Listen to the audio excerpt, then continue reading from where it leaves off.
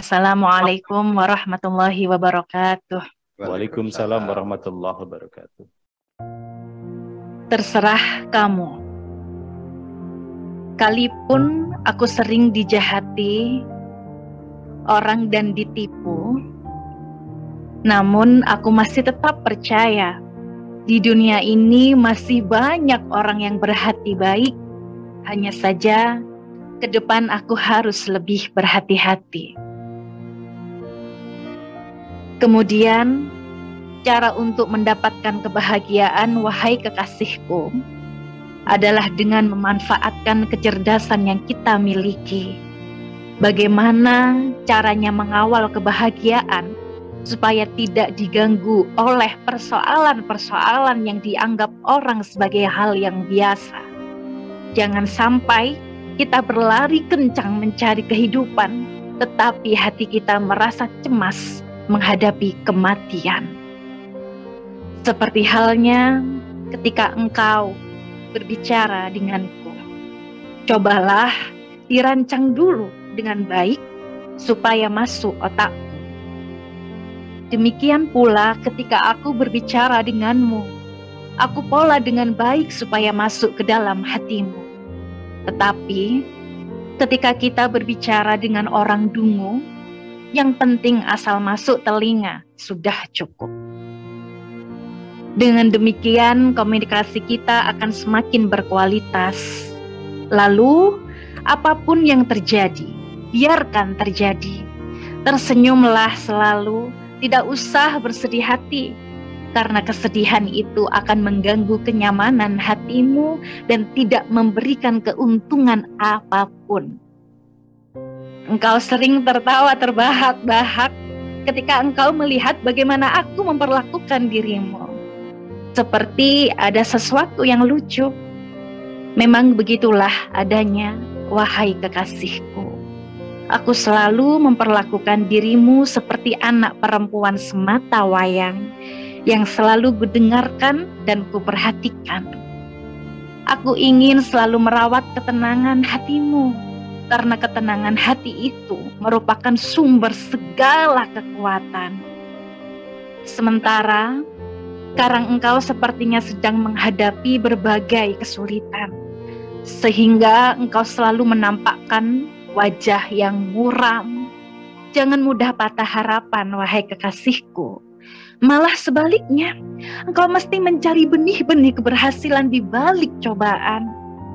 Kemudian engkau ceritakan saja kepadaku apa yang menjadi beban hatimu karena terlalu banyak menyembunyikan, berpura-pura kokoh dan perkasa hanya akan membuat hatimu menjadi rapuh. Nanti engkau akan cengeng, mudah menangis hanya karena perkara yang sepele. Kemudian Nasihatku untukmu selanjutnya, cobalah kurangi atau sama sekali engkau tinggalkan kebiasaan mengkritik orang. Mungkin engkau merasa nyaman mengkritik orang, namun kenyamanan seperti itu akan menghalangi kesenangan ketika mendapatkan keberuntungan. Yang perlu engkau khawatirkan adalah apa yang ada di dalam dirimu sendiri, bukan yang ada di luar dirimu. Cobalah lihat saja, orang yang hatinya menyimpan kasih sayang akan lebih bahagia ketika dapat menolong orang ketimbang mendapat pertolongan dari orang lain.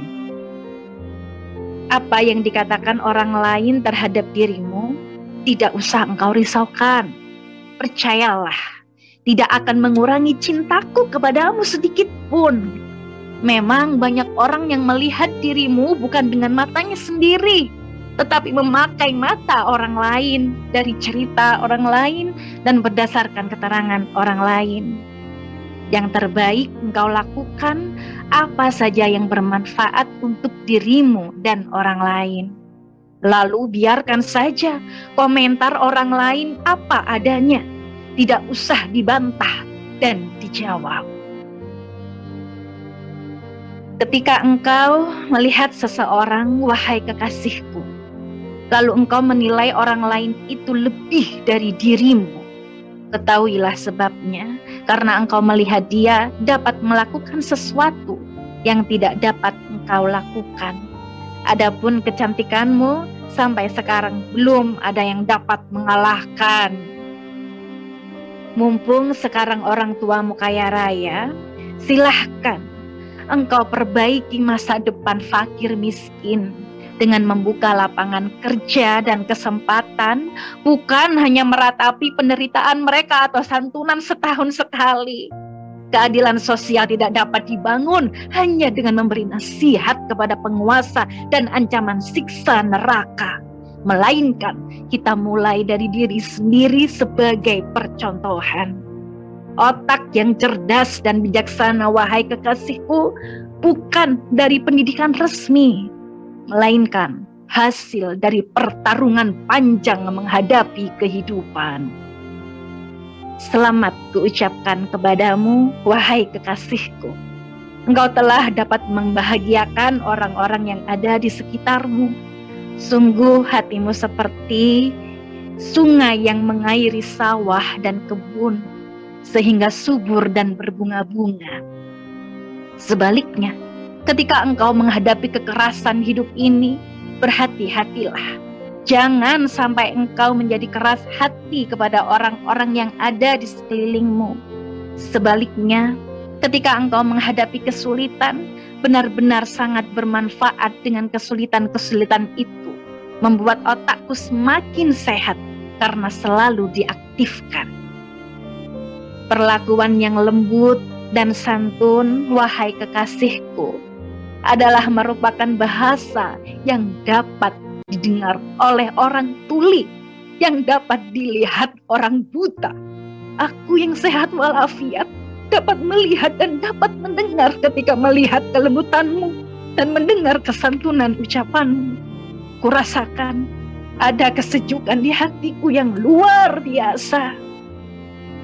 Sejak cinta terlahir di hatiku, wahai kekasihku, Mendadak aku sekarang menjadi bujangga dan penyair. Semua yang kulihat menjadi indah dan senang dipandang. Hanya saja kendala yang ada. Orang tuamu kaya raya. Bagaimana aku dapat meyakinkannya? Apakah aku dapat menemukan jalan ataukah aku harus membuat jalan sendiri?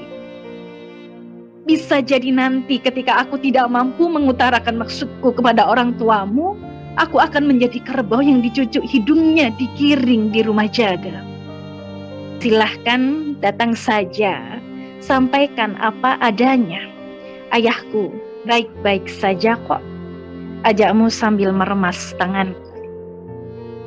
Sebaiknya tanyakan dulu kepada bapakmu.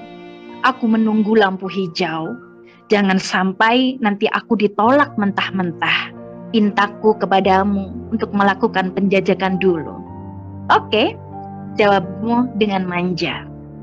Engkau cantik sekali dan bapakmu orang kaya raya. Apakah itu jalan menuju kebahagiaan? Namun tetap saja wahai kekasihku, makna tunggal kebahagiaan yang mungkin dapat ditafsirkan adalah tidak lain merupakan perdamaian antara lahir dan batin perdamaian antara manusia dengan dirinya sendiri, jiwanya berdamai dengan raganya. Setelah kita meyakini kebahagiaan ada di dalam diri kita sendiri, bukan ada di luar, sehingga apa yang dikatakan orang boleh saja masuk ke telinga, tapi jangan masuk ke hati. Karena yang terjadi sehari-hari tengah masyarakat, ketika kita melakukan sesuatu yang benar, tidak ada yang mengingat. Tetapi ketika kita melakukan kesalahan, tidak ada yang melupakan. Semuanya akan berubah ketika kita berani merubah apa yang kita yakini. Setelah satu bulan, aku menunggu isyarat. Ternyata belum ada titik terang, lampu hijau belum juga menyala. Sejak itu aku mulai gusar, jangan-jangan bapakmu tidak setuju. Aku berusaha untuk melerai kecemasan yang meronta di dalam hatiku. Aku ingin tetap tegar dan percaya diri. Berbagai kesibukan kulakukan untuk mengalihkan perhatian. Tetapi semakin lama nafasku semakin sesak, kurang oksigen barangkali. Di tengah sedang terjadi pertempuran sengit di dalam diriku. Terkadang muncul keinginan untuk melakukan sesuatu yang melanggar hukum. Tiba-tiba engkau datang tanpa mengetuk pintu, langsung masuk kamar di samping dapur lalu engkau mengunci pintu. Pintuku ketuk berulang-ulang, tetapi tidak engkau buka. Kupanggil berkali-kali, tetap engkau tidak menyahut. Sampai pukul 24, pintu tetap terkunci. Akhirnya, aku memutuskan untuk kubiarkan. Aku ingin tidur di kamarku sendiri. Mataku semakin memanas. Rasa kantuk tidak juga hadir di kelopak mataku. Rasa was-was dan cemas semakin meremas. Akhirnya, Aku putuskan untuk memberitahukan bapakmu. Aku khawatir barangkali terjadi sesuatu. Aku pasti disalahkan.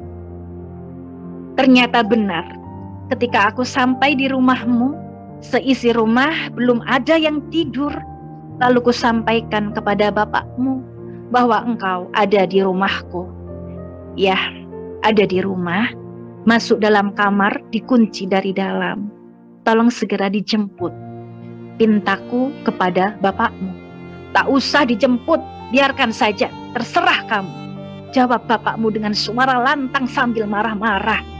Setelah itu sampai tiga hari, tidak juga datang jemputan bapakmu. Engkau pun tetap mengurung diri di dalam kamar, hanya sekali-kali untuk keperluan makan, minum, dan hajat mendesak lainnya. Akhirnya, Kulaporkan kepada ketua RT akan keberadaanmu di rumahku. Ternyata ketua RT hanya mencibirkan bibirnya sambil mengangkat kedua pundaknya. Akhirnya, bapakmu datang juga setelah satu minggu kemudian dan dengan didampingi ketua RT sambil bersungut-sungut bapakmu mengatakan, mau kawin? Silahkan, kawinlah. Aku tidak lagi ngurusin kamu. Terserah kamu, terserah kamu. Lalu bapakmu langsung pulang tanpa menoleh sedikit pun. Dan engkau tetap menangis sambil menutup mukamu dengan kedua telapak tanganmu. Indramayu, 27 November 2022. Buya Syakur.